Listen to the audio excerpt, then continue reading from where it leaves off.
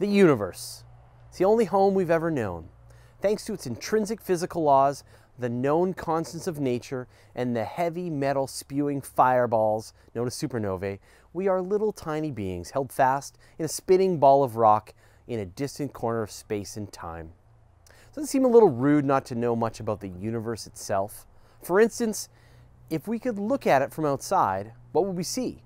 A vast blackness, a sea of bubbles, a snow globe, rat maze, a marble in the hands of a larger dimensional alien, or some other prog rock album cover? Well, as it turns out, the answer is both simpler and weirder than all those options.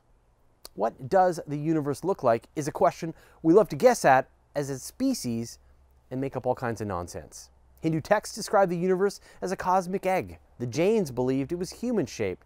The Greek Stoics saw the universe as a single island floating in an otherwise infinite void, while Aristotle believed it was made up of a finite series of concentric spheres, or perhaps it's just turtles all the way down. Thanks to the mathematical genius of Einstein, cosmologists can actually test out the validity of various models that describe the universe's shape, turtles, mazes, and otherwise. Now, there are three main flavors that scientists consider positively curved, negatively curved, and flat.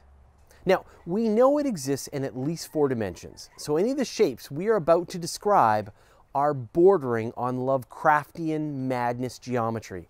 So fire up your madness abacus. Ya ya, Cthulhu fhtagn. A positively curved universe would look somewhat like a four-dimensional sphere. This type of universe would be finite in shape, but with no discernible edge. In fact, two distant particles traveling in two straight lines would actually intersect before ending back up where they started. You can try this at home. Grab a balloon, draw a straight line with a Sharpie. Your line eventually meets its starting point.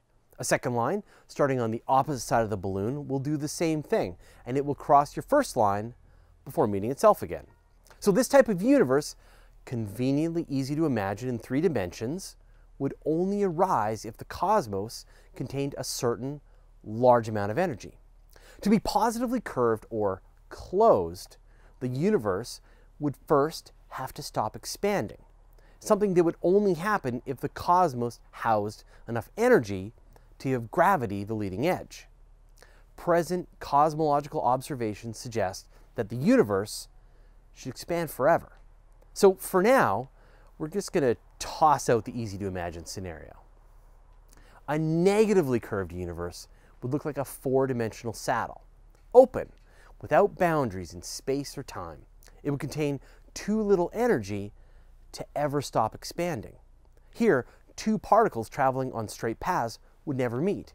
In fact, they would continuously diverge, getting further and further away from each other as infinite time spiraled on. So if the universe is found to contain a Goldilocks specific critical amount of energy teetering perilously between the extremes, its expansion will halt after an infinite amount of time. This type of universe is called a flat universe. Particles in a flat cosmos continue on their merry way in parallel, straight paths, never to meet, but never to diverge either. Sphere, saddle, flat plane, those are pretty easy to picture. There are other options too, like a soccer ball, a donut, or a trumpet. Now, a soccer ball would look like a spherical universe, but one with a very particular signature, a sort of hall of mirrors imprinted on the cosmic microwave background.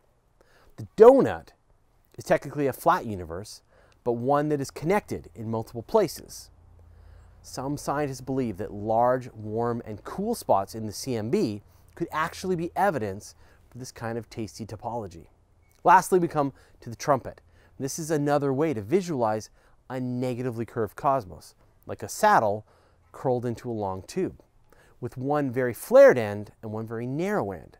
And someone in the narrow end would find their cosmos to be so cramped it only had two dimensions. Meanwhile, someone in the flared end could only travel so far before they found themselves inexplicably turned around and flying the other way. So which is it? Is our universe an orange or a bagel? Is it Pringles, a cheese slice, brass, or woodwind? scientists haven't ruled out the more wacky, negatively curved suggestions, such as the saddle or the trumpet.